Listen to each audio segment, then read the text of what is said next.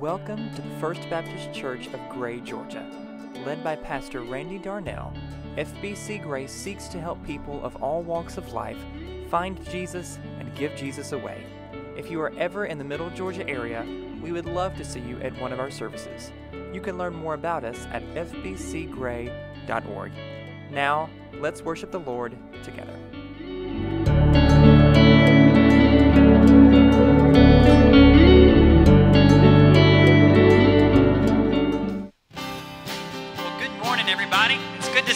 Stand. Let's sing together. We've got a brand new song today. The choir sang it a few weeks ago. We'll sing the first verse and the chorus together, and then we'll ask you to join us on the second verse. Let's sing to the Lord together this morning. Come, people of the risen King, who delight to bring him praise. Come all tune your hearts to sing to the morning star of grace. From the shifting shadows of the earth, we will lift our eyes to him. Where steady arms of mercy reach to gather children in. Rejoice,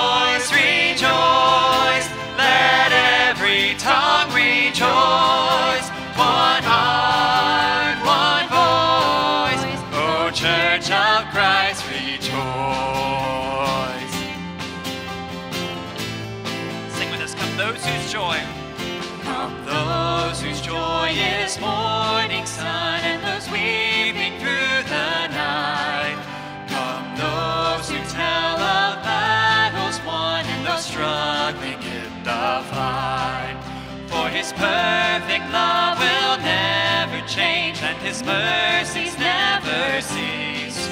But follow us through all our days with the certain hope of peace. Rejoice,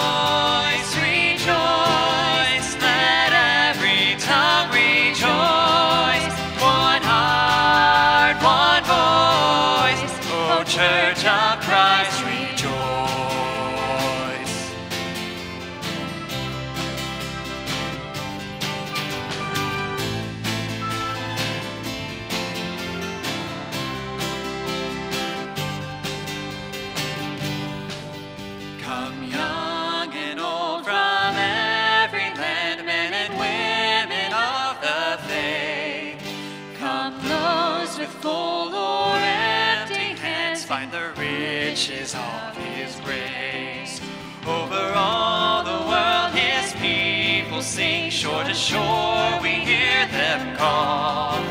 The truth that cries through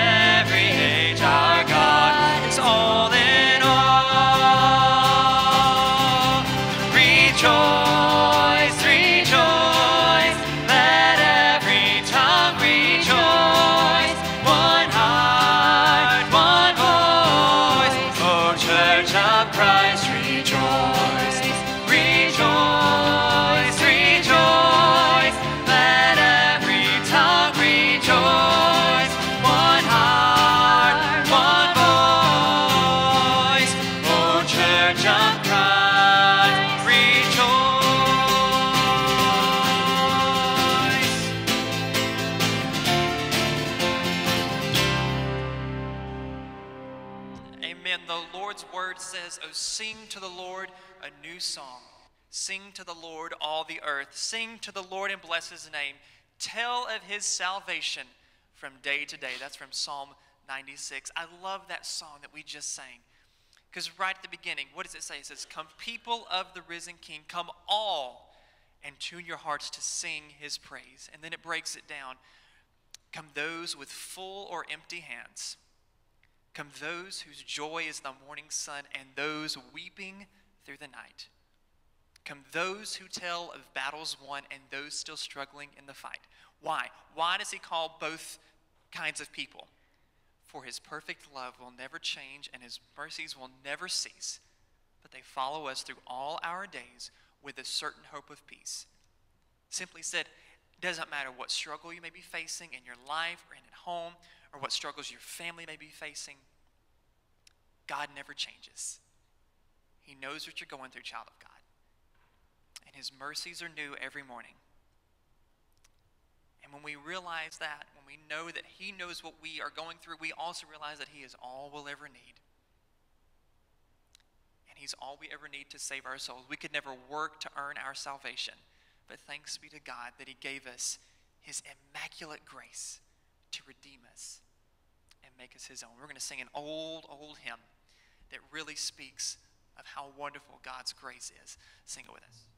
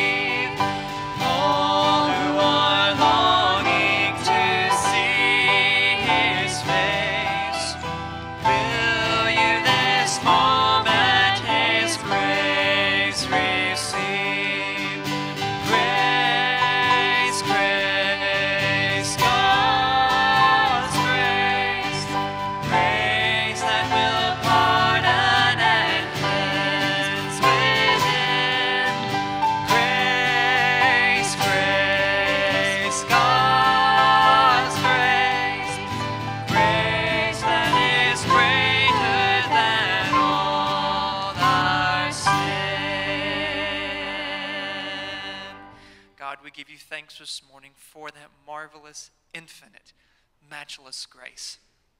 The grace that you bestowed on us that wiped away our sins and made us whiter than snow as we were initially created to be.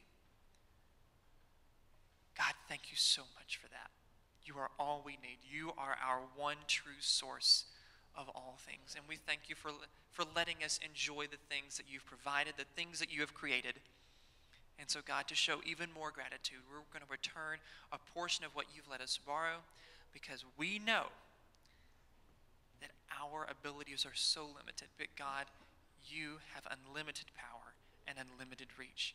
And so, Lord, we pray this morning that as these gifts are received, you take them and you bless them and you multiply them, that your grace may be shared with more people. In Jesus' name, amen.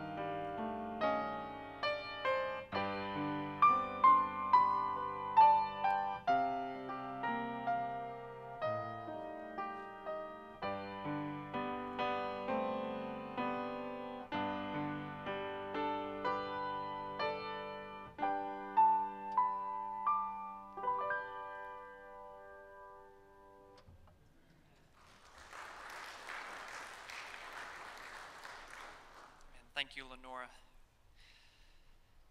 Hear now the word of the Lord. Now, before faith came, we were held captive under the law, imprisoned until the coming faith would be revealed.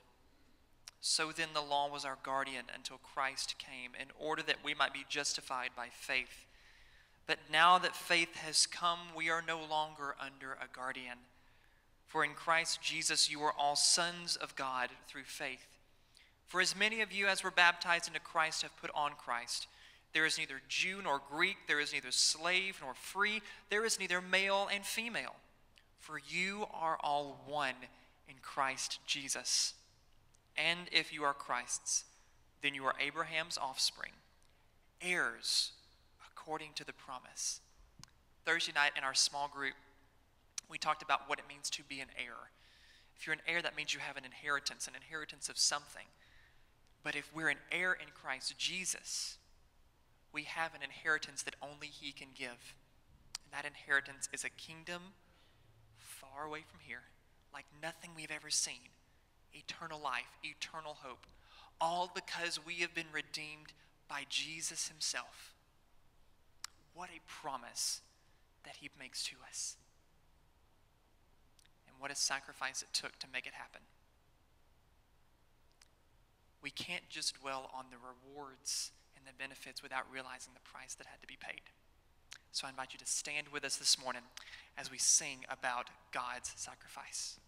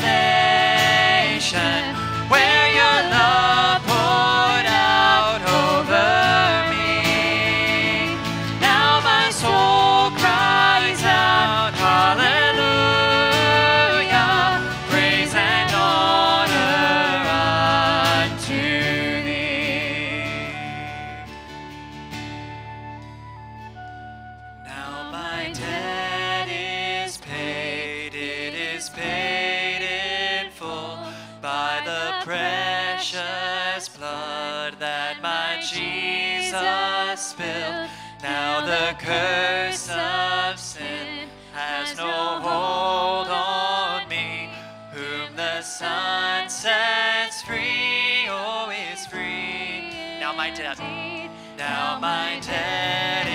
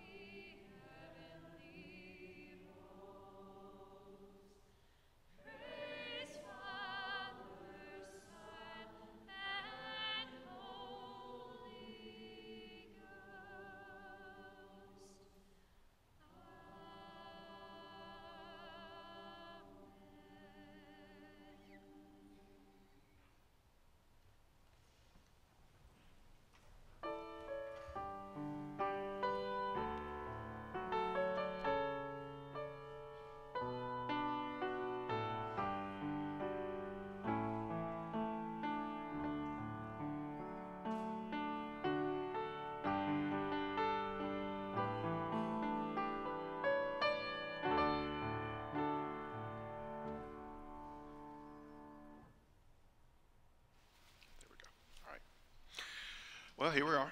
Good morning. Uh, listen, one of the things, just, just, just, you know, I mean, just neither here nor there or the other place. Um, when my granddaddy used to sing back years and years ago, uh, he embarrassed the dickens out of me. Granddad couldn't carry a tune in a bucket. And, uh, and he'd sing, and he'd sing at the top of his lungs. It was like nobody else was in the room. Granddaddy just let her rip. Y'all, be like Granddaddy. Don't let anything hold you back. Just let it rip. If it's in your heart, let it out. If it's not in your heart, hunt for it because it needs to be there. Granddaddy didn't care. He just let it go.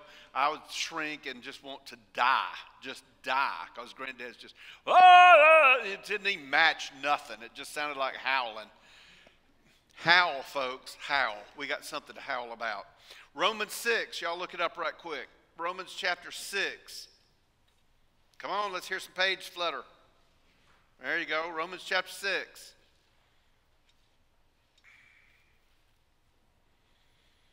Romans chapter 6, we begin with verse 12 and we're going to go through 23. So, it says, Let not sin therefore reign in your mortal body to make you obey its passions. Do not present your members to sin as instruments for unrighteousness, but present yourselves to God as those who have been brought from death to life, and your members to God as instruments for righteousness. For sin will have no dominion over you. For sin will have no dominion over you, since you are not under the law, but under grace. What then? Are we sin? Are we to sin because we're not under the law, but under grace? By no means.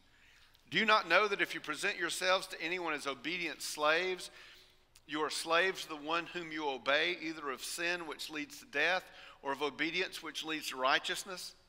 But thanks be to God that you who were once slaves of sin have become obedient from the heart to the standard of teaching to which you were committed, and having been set free from sin, have become slaves of righteousness. Speaking in human terms because of your natural limitations, for just as you once presented your members as slaves to impurity and to lawlessness leading to more lawlessness, so now present your members as slaves to righteousness leading to sanctification. For when you were slaves of sin, you were not free. Say it again. For when you were slaves of sin, you were free in regard to righteousness. But what fruit were you getting at that time from the things of which you are now ashamed? For the end of those things is death. But now that you have been set free from sin and have become slaves of God, the fruit you get leads to sanctification and its end eternal life. For the wages of sin is death. But the free gift of God is eternal life in Christ Jesus our Lord. So I heard something this week that I couldn't wait to share with you guys. Uh, I was listening to J.D. Greear, listening to his podcast from the Summit Church up in, uh, up in Raleigh, Durham, North Carolina. Uh, I listen to him every week, and uh, I listen to Greear. He, he's out of the pulpit a lot. He's president of the Southern Baptist Convention. He travels all over the place. And uh, the other guys, I listen to them every now and then, but I always listen to Greear. I mean, he is the man is just dynamite. I told uh, I told the staff that when we get to Romans 8, 28 through 30, which is going to come up in a couple of months, that I'm, I'm just going to play Greear's video. I'm not even going to try. I'm telling you, that's what I heard on the radio this week that I, I got to tell y'all this because it, it, it factors into all of this, and it was just good. It was just good helped me to understand a little bit. Romans 8 29, y'all should know that. I've said it a million times in here. For those, it's, it's the purpose. It's, to me, it's God's purpose for us. For those whom He foreknew, He predestined to be conformed to the image of His Son in order that He might be the firstborn among many brethren. Now, I know I used the P word in a Baptist church. I used the word predestined. And I know that there's some folks that'll freak out over being predestined and all that kind of stuff. When we get to Romans 8, 28, 29, 30, we're going to talk about it. You'll know what I believe. I may or may not know what you believe when it comes down to predestination. Won't change the truth, what either of us won't believe, and it won't break our fellowship. If you don't believe like I believe when it comes to that, it doesn't matter. It just don't matter. I've got this strange feeling when we get to heaven anyway God's going to look at us face to face and he's going to say, Y'all argued about some of the stupidest things I have ever heard in my life. Let me explain to you how that really works. And we're all going to sit there and go, Oh, well, here's anyway, to get on with this, those whom he foreknew is where JD blew me away. Hadn't thought about this. Y'all, in, in, in, in Genesis chapter 4, verse 1, Scripture tells us that Adam knew Eve, his wife, and she conceived and bore Cain, saying, I have gotten a man with the help of the Lord.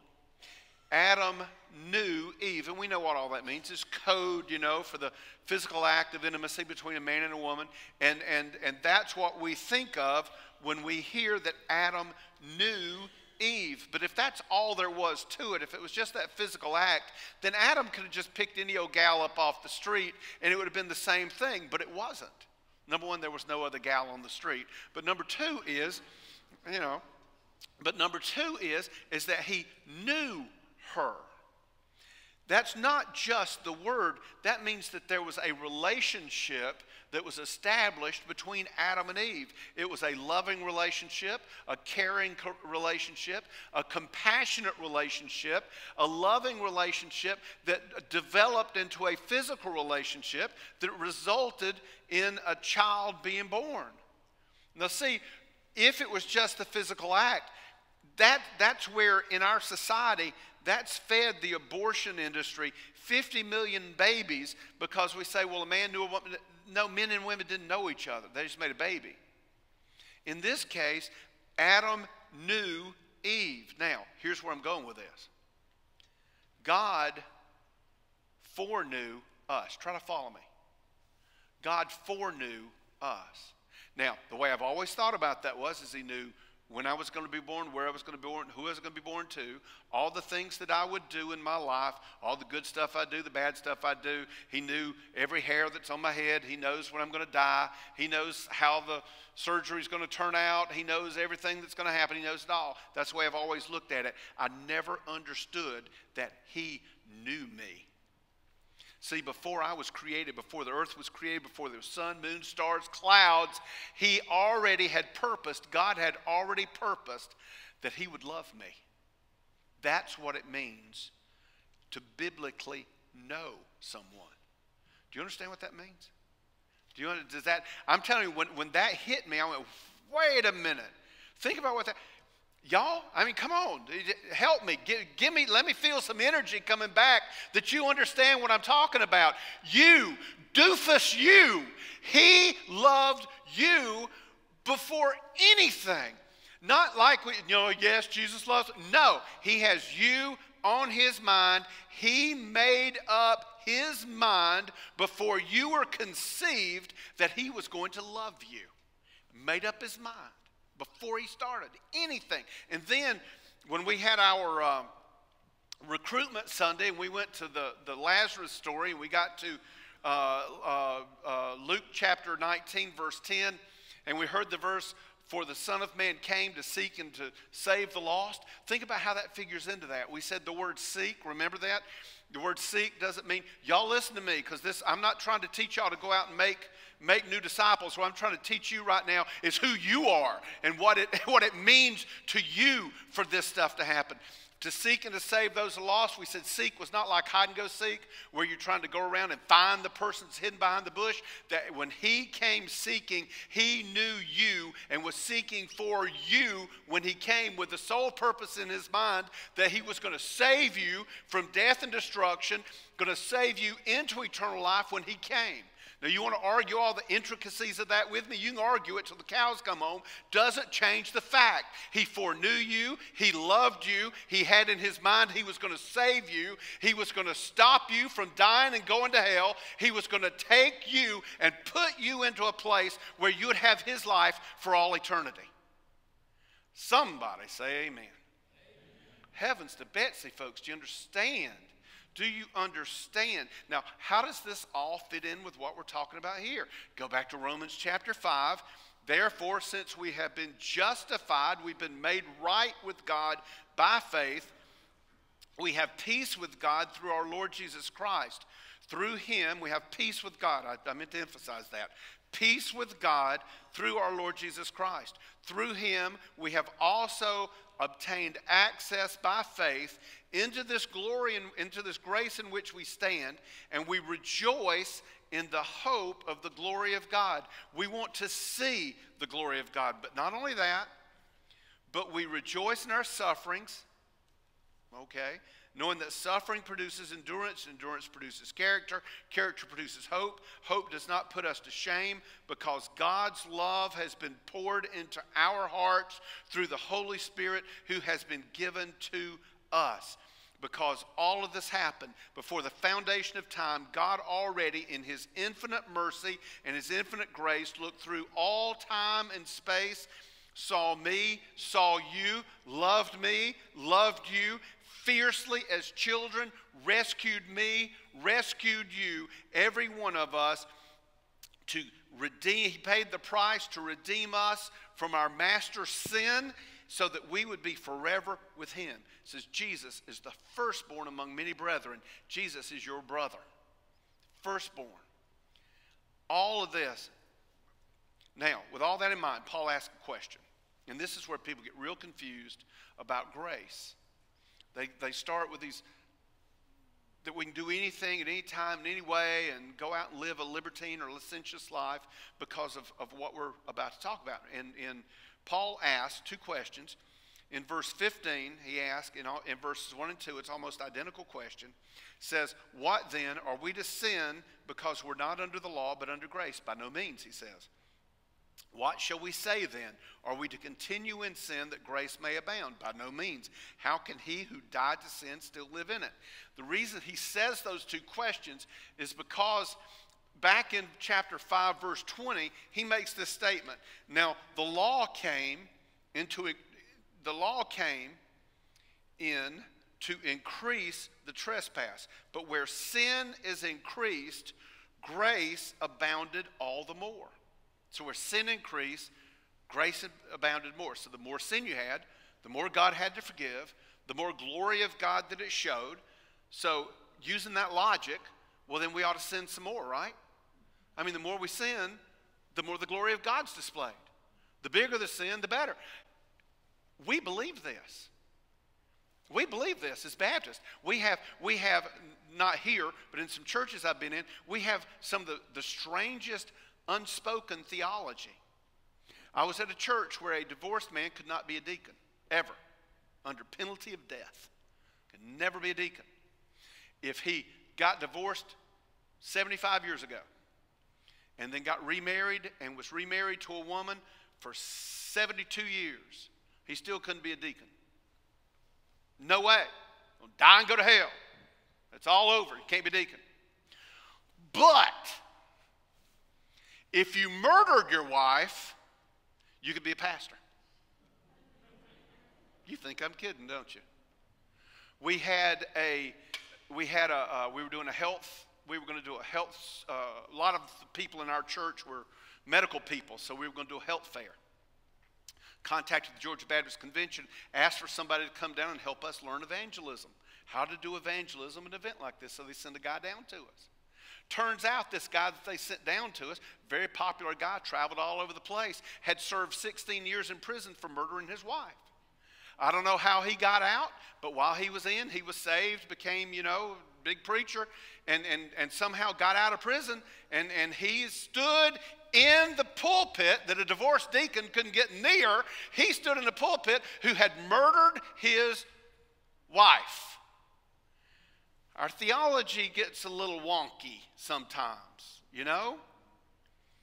So the worse the sin is, this guy murdered his wife. Well, boy, look at the glory of God there. Yeah, look how much God forgave him of. Paul's saying, Is that the way we're going to think? Is this the way this thing's supposed to work? That we should go out and sin more so that grace will be even better? Golly dingoes, guys, let's sin with abandon. I mean, let's, let's, let's let it rip. The more we sin, the more God has to forgive us, the more grace and mercy He gets to display. Glory be to God in His infinite mercy. Let's break out the booze and have some fun. Let's make this church rock and roll. Then you add Romans 8 1, and people really get out of control. Because Romans 8 1 says, there is therefore now no condemnation for those who are in Christ Jesus. Sounds like we ought to serve tequila shots for communion, and then we can have some dirty dancing, and everything will be good, right? Because then God's got to forgive us all the more. Paul says, Is this the way this is supposed to operate? Is this what's supposed to happen? He uses a Greek, phrase, a Greek word here that we've gone through before. Me genoito is the Greek. We, we translate it sort of nice and say, by no means, or something like that. When, when, and we've studied this before, y'all know, you may have disagreed with me, but you'd be wrong, and I was right on this one, absolutely. Because when whoever was reading this letter out loud, when they got to that word, they would have went, now, I didn't say this, Paul did. And then they'd read the word out loud because it would make people go, oh. Paul used a deliberately shocking word because he wanted people to understand that no, no, this is not what I meant. No, this is not the way this is supposed to operate. Absolutely not do you sin more so grace could abound. Using Randy language here, what I would say is, are you crazy? Have you lost your mind? What in the world are you thinking that you could do more sin so that grace would abound? Are you insane? And then Paul makes this argument, and it's a great argument. Look at verse 21. He says in verse 21, but what fruit this is a great this is great to think about guys this is such a logical argument that could be asked Every time you are tempted to sin, every time you're faced with some huge temptation that you really want to do it, it looks like it'd be cool. You've done stuff in the past, you know, but hey, this, mm, this is an opportunity. Verse 21 says, But what fruit were you getting at that time from the things of which you are now ashamed? Do you understand what that question says? What did you get out of the things that you did that you're now ashamed of because you know the end of those things is death. Before we were saved, while we were still sinners, what good did our sin bring about? What good does your sin bring about? When you do things, when I do things that, that are not what God would want us to do, that are you know, in opposition to his character, in opposition to who he is, what good does that ever bring about? What good does that do? And see, I've finally gotten over, it's taken me a long time, but I've finally gotten over the fact of thinking that all of y'all are good people and I'm the only sinner in this room. I finally understood that, you know what? We're all in this thing together. We're all riding that loaf boat, all of us together. Paul's on that boat too. He talks about the same thing. And he says, What good came out of those things that you did that you're ashamed of now? And you know what I know for a fact? That everybody in this room has at least one thing they're ashamed of in their past. You might be the best person that's ever walked on the face of the earth, but I guarantee you, there is something that, that you can lean back and you think of today and you think, you know, I wish I'd done that differently. Boy, I sure would like to have that one back. I'd need a mulligan on that one. I,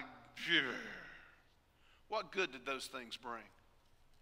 Let me give you a little catalog. You know, I look back at my list. Maybe you've only got one on your list. I've got a catalog. It's indexed, it's alphabetized, and it has page numbers. I had a car accident one time involving another young lady. We didn't get tickets for the car because we were both in the same condition in that car wreck, and the, and the uh, policeman figured, what good's it going to do? Cost me a lot of time, a lot of money, didn't help anybody. I can think of a, a couple of people, a couple of friendships that I've lost because of things I've said and done. I think about some friendships that I've got that have very, very strained or had very, very strained relationships because of the things that I've said and I've done. I've got a few people that I still pray that the Lord never lets me see them again. We've We've apologized, we've done our thing, we've forgiven each other, but I don't want to see them again because every time I see them, it opens up that little hole in my heart that says, You, sir, were an idiot. And you deserve for them to slap you in the face and laugh at you. And I know I'm forgiven in the hope, but I still, that, it's still there. You've got it too. All of us have that in us. And Paul's using that for his argument right here. He's saying, Of those things you did, what good came out of them? What good came out of them? You're tempted to do sin again? Remember what you've done in the past. What good came out of that that makes you think this next thing you're going to do is going to have good come out of it? It doesn't work that way, he says. It does not work. It is always shame. It is always death. The outcome of the things that we do that are sinful and disobedience to God never turn out the way we think they're going to. It's always shame. It's always death. So he's saying here in his argument so should we continue in sin so that we can make God look more powerful and loving because he'd have to forgive us so much more instead of divorcing our wives so we can't be a deacon? Should I just kill her so that his grace will abound and I can become a preacher? And he says, For heaven's sakes, people, what are you thinking? Have you lost your mind? Verse 12, he says, Let not sin therefore reign in your mortal body to make you obey its passions. Do not give sin permission to be your boss. That's what that means here. Reign is sort of a hard word for us. We don't have kings in the United States, but everybody has a boss. Everybody has a boss. If you're married, you got a boss. She's the boss, and, and you're married. If, if, if you go to work, you got a boss. Everybody's got a boss. Everybody's got somebody tells them. We know what that means. He says, do not give sin the permission to be your boss. Don't do that. And don't pass over this phrase mortal body because he uses that phrase on purpose. Mortal means it'll die. What he's trying to say here is do not let sin be the boss of you while you're living in this temporary condition. This is temporary. It may seem like a long time for us, but if somebody lives to be 105 years old, we're all going, Whoa, look how long they lived. 105 in the scheme of history is nothing. It's temporary. And he says, Don't let sin be the boss of you while you're in this temporary condition. Don't give sin permission to be your boss, to make you obey your desire for that which is forbidden. Do y'all remember the, the movie Grease? Y'all remember Grease? Came out in 1978, but it's been played a lot on television, and every high school that's ever been has done a, a, a play, you know, Grease the musical. Every, everybody in the world's done that. Do y'all remember the story? You've got Sandy, Olivia Newton John. I ought to ask for a all the men to raise your hand. How many of you had don't do it? How many of I don't you in trouble? How many men had a crush on Olivia Newton John? I'm telling you right now, if she'd walked into the room, I'd have passed out cold. Lord have mercy on my soul. Thank you, Lord. But so Olivia Newton John is in this movie, and John Travolta, I know he was, you know, he's he's Danny the stud muffin. Olivia Newton John comes in. She's this prim and proper girl from Australia, only supposed to be there for the summer, but she ends up staying for the the school year, and she went to Rydell High School. Y'all remember it was Rydell High School. Here she is, all prim and proper, and who does she fall for? Forbidden fruit. She falls for Danny the stud muffin, the guy that he's supposed to want all the fast girls. Y'all know what I mean when I talk about fast girls, right? He's on that side of the track. So he's supposed to be wanting all the fast girls, but now he wants forbidden fruit too. He wants the girl on the good side of the track. That's how we operate. That's how we work. The ending of that movie is a little bit interesting. Sandy does help reform Danny somewhat, but Danny does help corrupt Sandy somewhat. See, it's not really the happy ending that we think it is. We walk around singing, You're the one that I want. You know, we sing the song, it's all bouncy and good. But it's forbidden fruit. And that's what we want. We always want those things that we shouldn't have. And that's what he's saying right here. Don't give sin permission to be the boss of you so that it tells you that those things that you should not want are the very things that you do want. And the crazy thing here is he's telling you that you have the power to do that. Now, he understands we've got the Holy Spirit, the Father, the Son, we've got all of this working with us, but he's saying that you've got a part in this, that you choose this. Don't give sin permission. Verse 13 says, Do not present your members to sin as instruments for righteousness, but present yourselves to God as those who have been brought from death to life, and your members to God as instruments for righteousness. When Paul says members, he means our hands, our feet, every part of our body. He says, Don't present them as to. Uh, don't present them to sin as instruments of unrighteousness. The word instruments could be translated weapon as well. I like that better in the world in which we live right this minute, we need some weapons of righteousness. In the world we're in right now, unless you've been on a trip to Mars, you know that we are living in a culture shift like we've never been in before. We understand that. We want to blame it on the baby boomers and on the 60s and 70s. I blame it on our parents because our parents raised us so they gave us more than anybody's ever had before, and we thought we were entitled. And so we had the 60s and 70s and sex, drugs, and rock and roll. And the next thing you know, you got crazy people doing all the crazy things that are going on and being said right now. We are in a huge culture war. Present your body, he says, as a weapon of righteousness, not a weapon of sin. If you present your body to sin, you're a weapon, a weapon for the wrong thing. If you allow yourself to be involved in sin, you're on the wrong side of the track. You're doing the wrong thing. You're not supposed to be there. Have you seen Iron Man? The movie Iron Man, y'all saw Iron Man? I've not seen the last Avenger movie yet, so don't spoil it for me. I'm, I'm, I'm, I'm thinking not on pay per view, and I might watch it on pay per view, so, you know. But the Iron Man, the original Iron Man, y'all remember Tony Stark, narcissistic industrialist. He gets kidnapped, he's in the cave in Afghanistan, he does all this stuff to get out. But when he gets out, he notices that all over the place, his business builds weapons that are supposed to be used to protect the United States and to protect all the good guys. And here his weapons are being used by the bad guys. His weapons that were supposed to be used for righteousness were instead in the wrong hands and being used for unrighteousness. And Tony, of course, that, that sets the whole movie up there. That's what happens when our that's what happens when our weapons get in the wrong hands. We know that our old self was crucified with him in order that the body of sin might be brought to nothing, so that we would no longer be enslaved to sin and give our members to the wrong side. We are not slaves to sin anymore because Jesus paid the ransom. He paid the price for sin with his death and burial, and he paved the way to new life for us by his resurrection. And because we've been freed, we can dedicate ourselves to the path that we choose, and we're going to choose a path. We're going to choose a path. There's only two ways to go. You can't sit the fence, you can't ride this one out. You've got to choose one or another. You can either choose to walk up to the Father and offer the members of your body as weapons of righteousness that brings life and hope to people, or you can do the opposite. But those are your only two choices. Now, I won't lie to you. It is very spooky to make a choice that you don't know where it's going to go. It is. I've watched a lot of people live in a lot of strange situations because that's the situation they're comfortable with.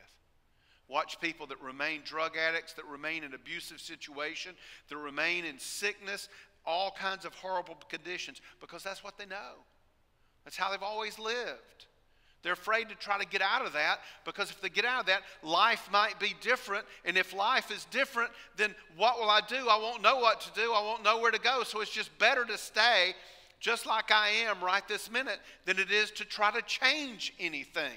Y'all know people like that. It may be you that I am comfortable in the diseased situation that I live in because I'm afraid of what I might get. But Paul tries to peek inside the door to let you see what's on the other side. He says that if we present our members to God, that they become weapons of what is right and what is good and a weapon of justice that we become the good people that we want to be. He tells us that we're under grace, that perfection is not required. He says that if we're obedient, that we'll live more and more right as time goes on, and then there'll be more and more people like Jesus. He says that everything we will touch while we're being obedient leads to good. And when we're disobedient, it leads to death. Because he says the wages of sin is death, but the free gift of God is eternal life in Christ Jesus our Lord. If you guys, a lot, a lot of you are a little older folks, there's a few of the younger guys here. Y'all remember the movie, or do you know the movie or the franchise, the Final Destination franchise? Any of y'all know Final Destination? Y'all know Final Destination? Y'all know, yeah, Final Destination movies. Here's the premise of the Final Destination movies. There was a guy uh, and had his friends, and they were going to a race, I believe it was, and he had a vision that at the race, a car was going to go out of control and go into the crowd, and he and all of his friends would be killed. And he convinced his friends, the vision was so real to him, he convinced his friends not to go, and the wreck did happen, and if they had been there, they would have been killed. And so they cheated death. So the premise of this movie is, is that death is coming after him because he's going to get his victims. So he goes after each one of them to kill each one of them. So that's, that's what final destination is. But the reason I thought about that was this Do you know how the word wage can be translated? Final destination. I thought that was cool. I thought that was real cool because here's the deal the final destination of sin is death. It's going to get you. You can cheat it, you can hide from it, you can do everything in the end, but the final destination of sin is death every stinking time. But the free gift of God is eternal life in Christ Jesus our Lord. Listen, you can't work on it. You can't work to earn it. You can't clean yourself up to receive it. In fact, I'd tell you, don't try to clean yourself up because when you try to clean yourself up, you're going to try to be what everybody else says that you're supposed to be, and they're half whacked too. Let God clean you up. Let God clean you up. Come to Him, trust in Jesus, let Him clean you up. You don't have to you do have to realize that the final destination of life is death, and you cannot stop it. You know the things that you're doing, and you know that the things you're doing is guaranteeing that you will die. You don't want it anymore, and that's when you hear Jesus. He's looking for you. He knew where to find you. You can't live off the grid for Jesus. You can't hide from him because he foreknew you he purposed in his heart forever that he was going to love you and find you and bring you to salvation. He died on a cross. He was buried in a rich man's tomb. He lay there on Friday. He lay there all day on Saturday. On Sunday, he was laying there when the Father called and woke him up and said, Come back to life. And when he came out of the grave, we all came out of the grave with him. He did it for justice. Doing the wrong thing has, requires consequences. He couldn't just let us off the hook. Somebody had to bear the penalty for all that craziness that we've all done, and that was Jesus. Your part is to receive the gift. You stake your life on Jesus. You go all in with Jesus. You say to him, I will follow you from now on to the best of my abilities, to the end of my life. And then you get out of the way. And he takes you the rest of the way. So there you are. Here's the killer. I'm afraid you're going to go home and have just heard a sermon. And I sure don't want that to happen. I don't want it to happen. And I'm not talking about if you're not a Christian. If you're not a Christian, I'd encourage you to trust Christ as your Savior. I'd, I'd encourage you to think real hard about it before you do because the world don't want you to do that right now. There's a lot of crazy people in this world that think there's 56 genders. Uh, it's just they've, they've all lost their minds. They've just lost their minds, and they're trying to destroy Christianity because Christianity is truth, and, and they want their own truth, and, and, it's, and it's crazy. So it'd be hard for you to be a Christian in the environment that we're in right now, but I tell you that if you make that decision, you will never regret that. You will go through hardship and, and trouble, and these preachers that preach that you'll get a jet plane and a new car are liars, and I'm afraid that they're bound to hell. I don't know, can't condemn them to hell, but they sure are preaching a message that is not the gospel. The gospel is, is that you're going to suffer, that life's going to be hard, but that God's going to be with you every step of the way, that our flesh is temporary, and one day we're going to be sitting with Him physically in heaven, even though if you go to Ephesians 2, it says that we're already with Him in spirit already, sitting at the right hand of the Father. But those of you who are Christians, I'm telling you, I was driving home the other night, and I didn't know what to do with myself because I understood what it meant to be loved by God. Every battle I face, I mean, this is the big thing. I, I think, you know, you run a business and, and, and, and you run businesses and y'all run businesses and others of your employees and businesses and we have all these battles that we have to fight and all these things that we have to do and, and, and people that want this and people want that and they want the other. And to realize to realize that you know what? Every battle that i face has been won already because he goes before me and it's going to turn out like he wants it to go and I'm supposed to do my part and follow him. I'm not saying that I lean back and go, well, God's going to handle it. Let go and let God. I ain't saying that at all. What I'm saying is, is that I'm supposed to do my part, follow him best of my ability. Don't give sin permission to take me into things that are forbidden, but turn myself over to him in righteousness and then accept the fact that he's walking with me all the time everywhere I go. Some of y'all got bad bosses. Y'all go to work and you're miserable at work because you work for people that are just stupid. I had one of those. And I thought I was trapped. I thought I thought that I couldn't get out of it. I had a wife, three kids, two dogs, a bird and a turtle. Every one of them wanted to be fed. Every one of them wanted a roof over their head. Every one of them wanted to be warm in the wintertime and cool in the summertime.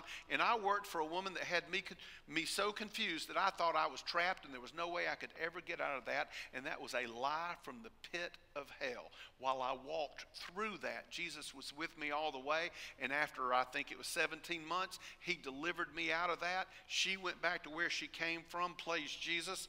And I got another boss and realized once that was in, that God with me all the time, that it was all under control. That I worried and fretted and fought and fumed when I could have leaned back just a little bit and go, you know what, this stinks, but this too is going to be over. Be the man that God's called you to be. You're not trapped. And I'm going to keep going on and on and on because I want to see the light come on your eyes so bad. I want you to understand when you walk out of here that there is nothing facing you that you cannot handle because Christ is in you. You are free. You don't have to sin, and you don't have to live with sin. And you don't have to worry about what anybody says about you. Lord of mercy, I'm a preacher. People say all kinds of things about me. So what? One of these days, I'll be out of this earth suit and moved on to somewhere else, and people can talk about somebody else. But it won't matter because I will be on my knees before Almighty God in heaven. And He will reach down and take me by the hand, and I'm going to get to see things that some of y'all are still going to be dreaming about. And it's going to be good. And one day you'll get there.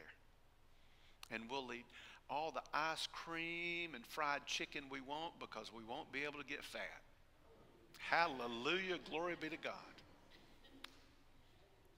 Y'all, please, don't walk out of here this morning and check the mark that said, I've been to church. When you leave today, you remember who you are. You are a child of the King, the master of the universe. And that makes you a master of the universe too, don't it? Because you are his child. Different way, but it sort of works. I'll shut up.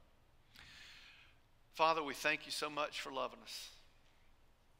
We thank you so much for loving us. Lord, I was talking to one of our members after the first service. And he said that Ravi Zacharias said once, saying this to the congregation and to you, Lord, that we all have just about as much Jesus as we want. And that sort of slapped me in the face because I think that's true. That we all have just about the amount of Jesus that we want. Father, open up our eyes that we can see that the infinite gift that you have given to us.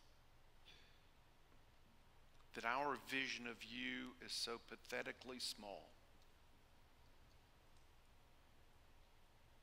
That we have believed the lie that Satan has said so many times that we will be weird and odd. And our life will be a living hell because people will laugh and ridicule us. Without us ever understanding, Father, that if they do, what would it matter? We're a child of the King. That you loved us. You purposed in your heart to love me before you created a thing. That you knew what was going to happen on this earth, and you did it knowing that you'd have to come looking for me, and that while I was still a sinner, Jesus would have to die for me. While I was of no value to you whatsoever, you would come looking for me and pave the way for me to be free. Father, teach us as a congregation how to be free in Jesus. Help us how to know how to strip off all of the, of the chains that bind us so that we can be free.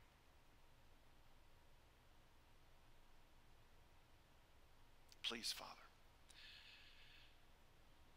In Jesus' name, amen.